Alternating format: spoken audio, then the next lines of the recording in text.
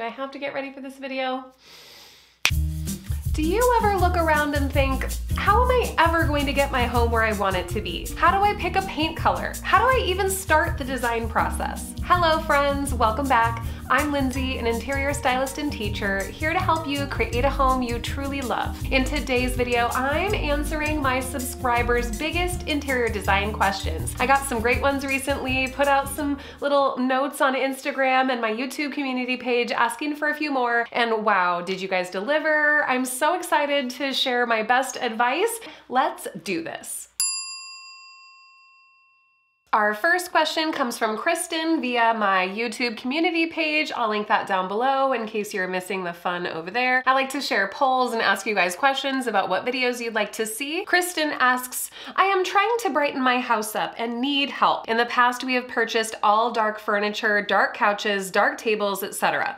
I, of course, can't afford to replace everything all at once. Who can, Kristen? None of us can. In my living room. So what are some affordable ways that I can brighten up the space a little without going broke. I'm hoping that I can really help you with this question and I know that you're not alone, Kristen. I was in this exact same position years ago when I was really at a turning point with my own design. I had a brown sectional sofa, brown chair and a half, an ottoman that took up a huge amount of my living room floor space, brown and cream colored area rug, brown and blue textiles on the windows, pillows, blankets, brown, brown, brown led to a sad dark room. Sound familiar? I know I'm not the only person who's done this and a lot of times when we find a neutral that we really like, we can a little go overboard without adding in enough color or contrast to balance the space out. So I have a few ideas for how you can brighten up your space. It probably goes without saying that going for a lighter or white paint color is a great choice to add a lot of brightness to even a dreary space. I would definitely add some white flowing drapery hung as close to the ceiling as possible and hang drapery a little wider than the actual window as well so that when you open the windows, you're gonna get a lot more light pouring in, but you still have that heightening effect and of course floor coverings. Even if you have a dark stain on your hardwood or maybe a dark tile or other some such dark floor element, changing out a darker toned area rug for a lighter toned or mid-tone area rug can bounce a little bit more light around the space and hopefully save you from replacing all your furniture. If you're going to invest in any new furniture, I would highly suggest saving for the perfect, lighter, brighter, and totally functional sofa. Whether you're going for a sectional or a traditional three-seater, two-seater sofa, going for a lighter neutral tone in a performance fabric with an overall aesthetic that matches your design style is gonna instantly change change the room. Next, if you're trying to make things feel light and bright, focus on a lighting plan. Really take a look at your overhead lighting. Think about putting it maybe on a dimmer switch. Might consider upgrading your ceiling fixture, maybe to a multi-arm fixture like I'm showing here or something that fits your design style. Remember, the more bulbs in an overhead fixture, the brighter the overall room is going to appear. The other thing you can do is spread table lamps around the room and maybe one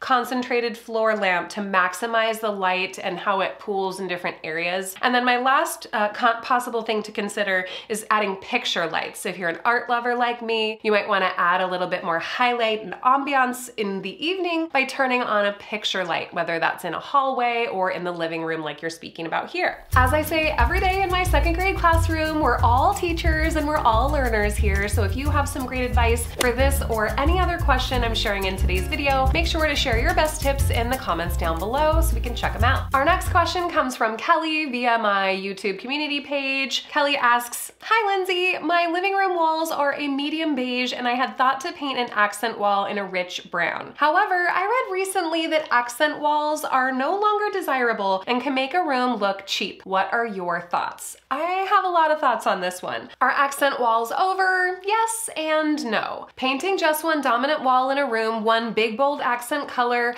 was super hot in the 2010s, and I think its rampant overuse made it passe in 2022. That said, you can still create easy interest by thinking creatively in an otherwise simple space. Try painting the bottom half of a room about chair rail height. Even if you don't have woodwork to back up that painting decision, you really create an interesting trompe l'oeil effect that adds a lot of interest to a space all the way around the room. You can even do this with a neutral tone. I did this in our rental primary bedroom in our last house and it made such a huge impact on a budget and I did it in one afternoon. My favorite way to think differently about accent walls is to look up and paint the ceiling an interesting and bold color. Often I think we forget about ceilings and it's a pretty important wall. It follows us everywhere around our home and we don't just have to go with plain white. My favorite thing to do is do an all over color. That's another great idea where you paint literally every wall, trim, molding, even the ceiling all in one paint color. It can make a room feel larger even if you choose a darker color. But another way to do this is to paint the ceiling an unexpected color. If the rest of your room has white walls, maybe think of a bold contrasting color, like a cobalt blue or an ochre on the ceiling. That could really create some depth. Another way to go might be all over wallpaper. If you find a subtle print, maybe a bicolor print in neutral shades that matches your design style, it can be a subtle texture you can add to the room or a subtle print. Remember, wallpaper doesn't have to be huge, bold, or colorful. It can be subtle, soft, and neutral. And if you're going for bold wallpaper, that's one area you might just choose one accent wall, especially if you're doing a self-stick wallpaper. If you get tired of the print, you can always change it out. One thing I would personally advise just to make sure that it doesn't feel out of place in a room is to make sure that the remaining three walls or however many walls you have in a room around that accent of wallpaper shares one base color. So if you have beige walls all around your room, maybe choose a wallpaper that has a beige base tone and then they layer in color around that beige so it feels like part of the rest of the room. Accent walls may be trending down now, but you never know when they're gonna come back. One thing we know from studying trends over time is trends always have a way of coming back. It never ceases to amaze me how things that I thought would never come back always seem to find their way back. Oh, low-rise jeans. I, I pity you. I put out a little call for questions on Instagram stories this week, so if you dropped a few in there, I'm gonna answer a couple of these now. And if you're not following me over on Instagram, I like to share as much as I have time for over there, photos from different projects in our home, little snippets and clips of videos, and I always let you guys know when I'm uploading, plus, you know, just scenes from the day-to-day -day life, uh, like this uh, random video of me trying to get back into my fitness uh, leading up to our wedding, but anyways, Sanctuary Scribe asks, how to redo my fireplace mantel and surround green granite to better fit my design. I love this question and I love green granite. I think the biggest thing I'm missing for this particular question is what's your design style? That will definitely play a major role in how you will make this feel like part of your home.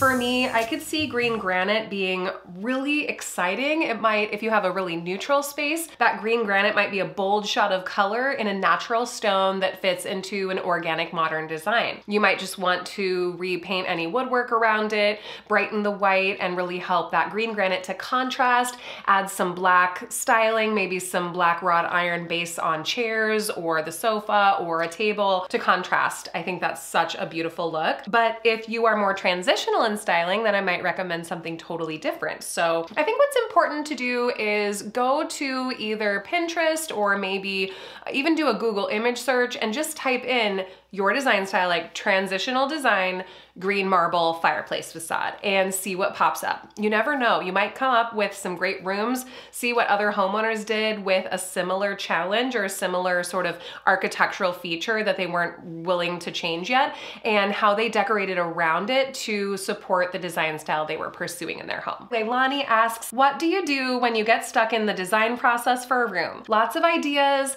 analysis paralysis. All right, Leilani, truth be told, I am so guilty of this. I'm constantly sourcing new information, whether I'm making videos, just researching the history of design as I commonly do just for fun. Uh, and I am always inundated with new things that I haven't thought of and ideas that I might wanna try in our home. Two things. I think focusing on, is this practical for our real life? That's a big one. The second one, putting it on paper, put together a mood board and see does this work visually before I invest in purchasing or gutting or renovating anything. Recently, I got kind of obsessed with the idea of brick floors somewhere in our home. We don't have a mud room, which would be the obvious place to do something like that. And so, of course, I found some tutorials online, texted them to Travis, my fiance, and then about 10 minutes later, I was thinking to myself, that probably wouldn't be the best flooring choice for a kitchen or bathroom bathroom. It's not super easy to clean. It's not super easy to tell if it's clean. And knowing my brain and how I like things clean, um, I just don't know that that is gonna be the right choice. Think about the practicality of your choices and think, does this make sense? Not just aesthetically, but does this make sense for our life? Another thing that I think really helps me to kind of talk myself off the crazy train is to make a mood board. Put down images that show things that I wanna keep in the room, some images of things that I'm hoping to add. It starts starts to make decisions feel a little bit more real instead of thinking about everything in my head and having way too many ideas. Committing those ideas to paper makes you have to decide, is this gonna work together? Is this gonna make sense? Jenny, all Z time, that is a fantastic little social media handle, by the way. Jenny asks, does your significant other put a lot of input into decor? Mine does. Any tips on how to find common ground? So Travis, my fiance, generally trusts my vision and he's seen me make over spaces over the time that we've been living together in multiple homes now. And I run a lot of things by him and I think he generally trusts that my passion for design is going to lead us to somewhere that he will love to hang out, love to live. And usually that works out. Occasionally though, I'll show him something and he will have a big immediate reaction. When I showed him the Mario Bellini Camaleonda sofa, very 70s sculptural, bubbly, postmodern, beautiful in my opinion. Definitely a love it or hate it kind of piece of furniture and Travis definitely hates it. Sometimes, you know, when those things arise, when he has a big strong opinion, I really have to lean into that and think, okay, use this as an interesting challenge to work around. Because number one, we both live here. We both love our home. It's our home. It's not just my home anymore. And shifting from being single and designing everything myself to just support what I envisioned is very different from designing a home around our shared vision. And honestly, I like to think that the diversity of opinion makes the design stronger. Even though it's not always the thing I wanted to hear, I would have loved if he jumped up and down and said, Camaleonda, that's it, order it today. Of course, that would have been awesome. When he has opposition to something like that, it just pushes me to think more creatively and find something that's really a true compromise. If the design world can shift and meld and put unexpected things together,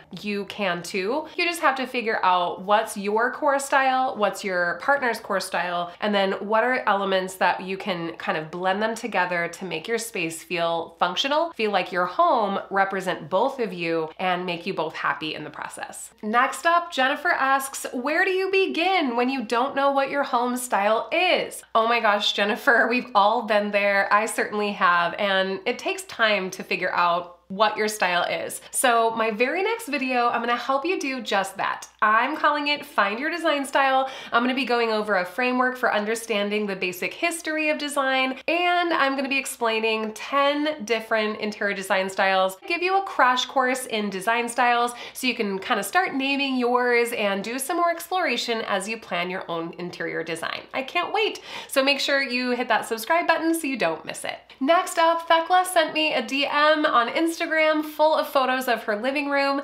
asking for some design advice as she's transitioning this space into a new design style. Thekla writes, Hi Lindsay, I would really appreciate if you can give me advice on how to modern up. Oh, this is such a great question. I have a million great ideas for this space. Right away, I'm noticing some great bones. We've got beautiful hardwood floors, a dramatic staircase. We've got long wood cabinet. I'm not sure if that's a built-in or a freestanding piece of furniture, but either way, it's a great spot for all your entertainment needs. You have a great foundation for modern. Your sectional sofa is neutral. It has clean lines. It's curvilinear. It's right on trend. Your red wingback chair is an unexpected pop of color. I was really excited to see that in there, So definitely keep this. It's gonna work great against the other modern elements of the room, give you that little infusion of color without going overboard. Modern loves to do that. Unexpected little pop of color. Ooh, that's gonna be gorgeous. I would probably start by painting all the walls one neutral color just to lighten, brighten the space and make it feel a little bit more cohesive.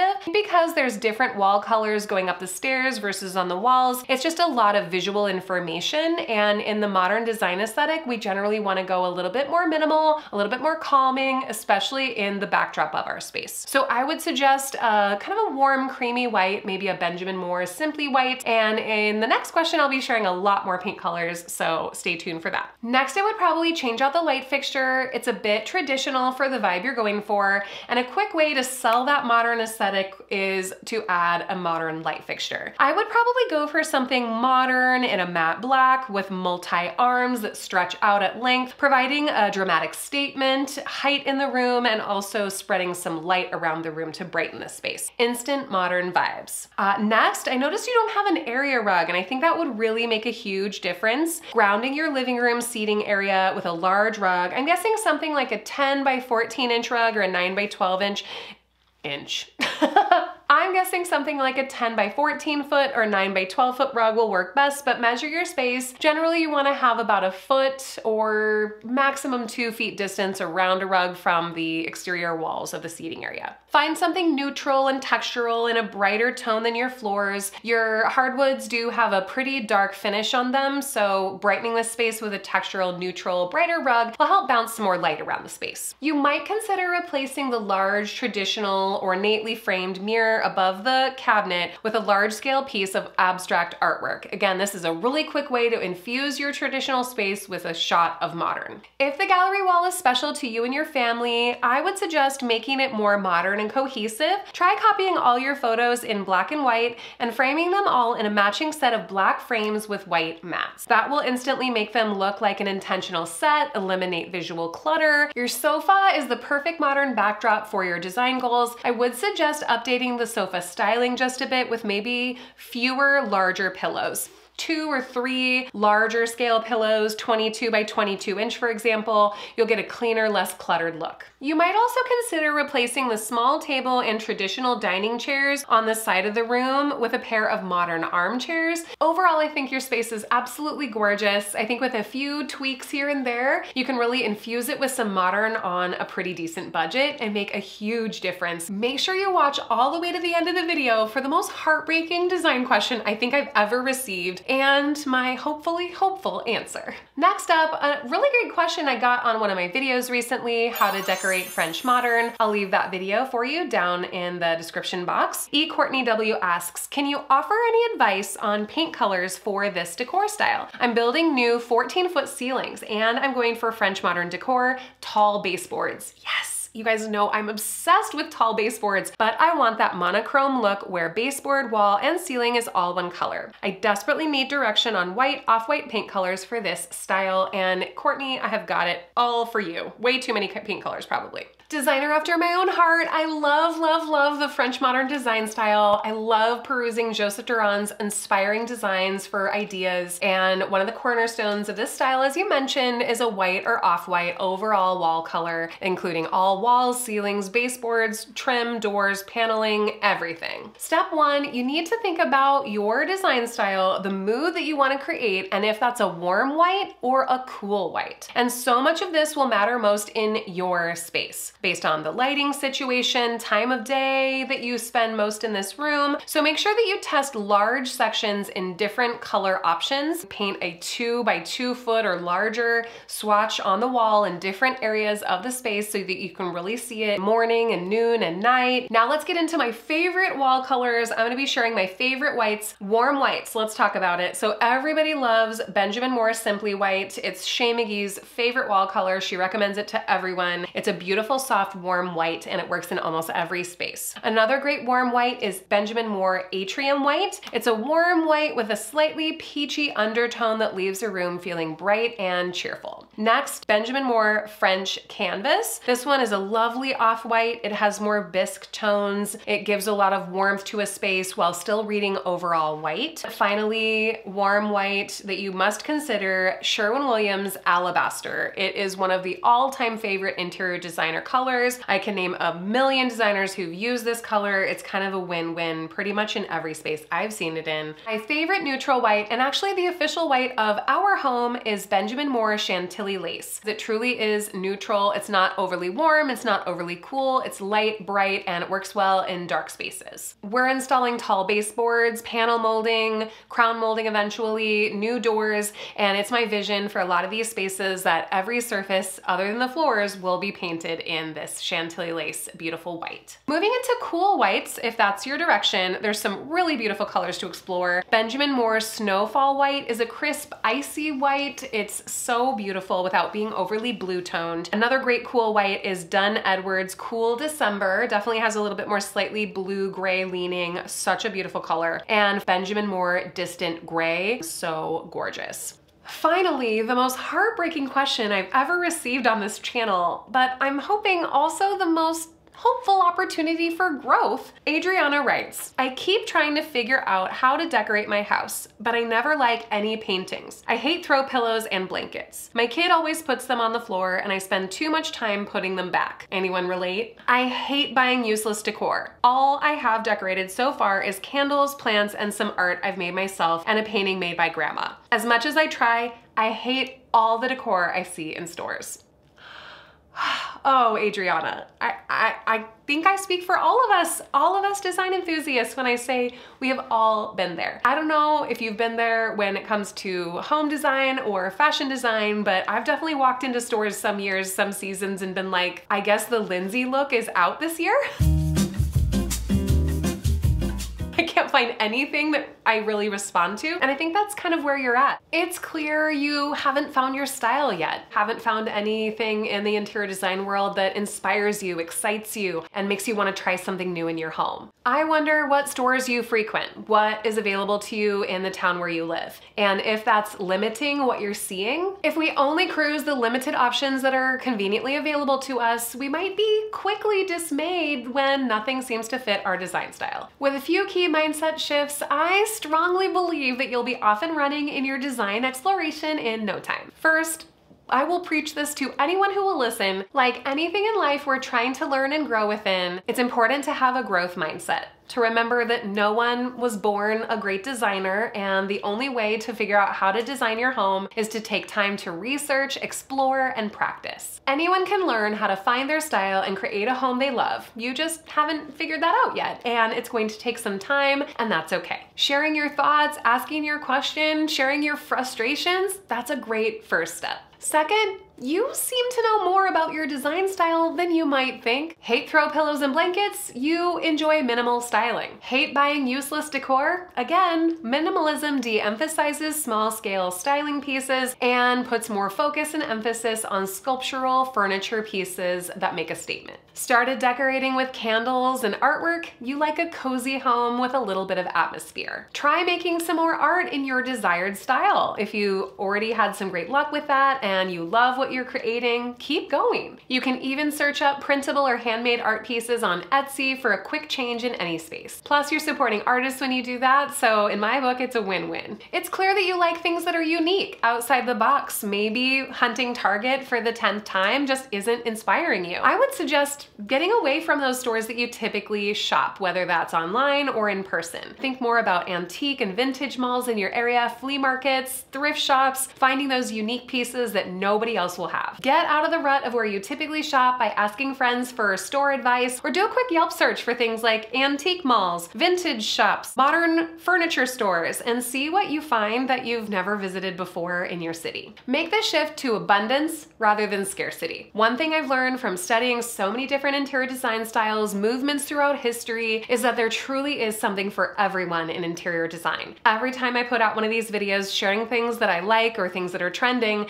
everyone has a different opinion. Things I hate, people love. Things I love, people hate. Things I love, people thought of something else that's kind of like it and taught me something that I didn't know. There's so many different styles out there, and one of the most exciting things is this idea of eclectic and hybrid styles, mixing interior design styles for your own unique look. So if you're not seeing what you like out there, maybe it's just because you haven't created it yet. Designing your home isn't always as easy as we'd like it to be. It takes research, dedication, a little bit of bravery, and a lot of positive self-talk as you confront and work through each new challenge. No matter where you're at in your design process, make sure you take time to appreciate the progress that you're making, even if it's a little bit small sometimes, and remind yourself that great design takes creativity, dedication, and more importantly, time.